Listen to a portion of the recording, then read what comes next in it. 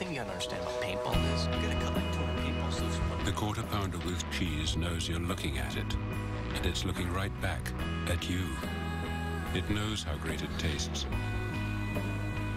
If you can't help but stare at its 100% pure beefy cheesiness, that's your deal. It's available. You know that. The quarter pounder with cheese is cheese and beef and cheese, and that's what's up.